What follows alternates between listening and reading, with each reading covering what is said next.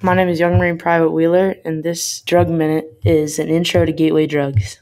The theory of gateway drugs is considered controversial to some. It states that these softer drugs, such as tobacco, alcohol, and marijuana, when consumed, give way to harder and more dangerous drugs. Whether you agree with it or not, there is no denying that people are addicted to heroin, meth, and cocaine, usually start with one or more gateway drugs. Does this mean that everyone who drinks or smokes moves on to heavier drug use later in life? Of course not.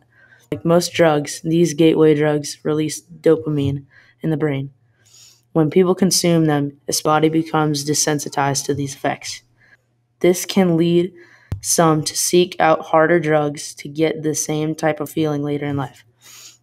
The reason the Young Marines educate the youth in tobacco, alcohol, marijuana, inhalants, and prescription drugs is not to only teach them about the dangers of these drugs, but also hopefully prevent them from falling into a lifetime of battling addiction on harder substances.